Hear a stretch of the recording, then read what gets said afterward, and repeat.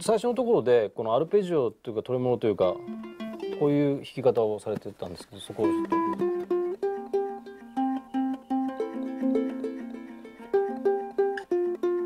全体を弾いてるんじゃないんですねじゃないんですよそのメロディーの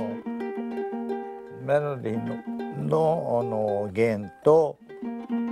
上の弦と、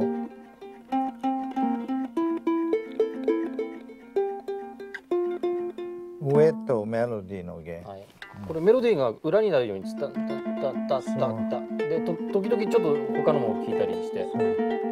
これはすごく難しいけど綺麗ですね。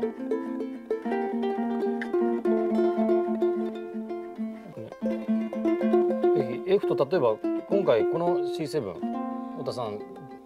く使ってらっしゃいますけど例えばこの2コードで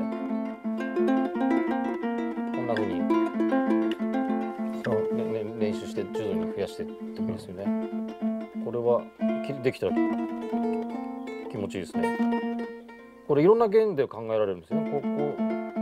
うこうだったりうんそうそうこういうのもあるんですか？隣の弦を。はいこれはあのなんか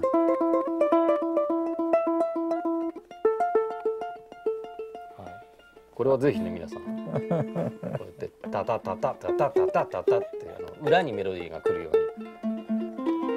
にねあの隣同士でも一つ置きでもいいからとにかくコードを押さえて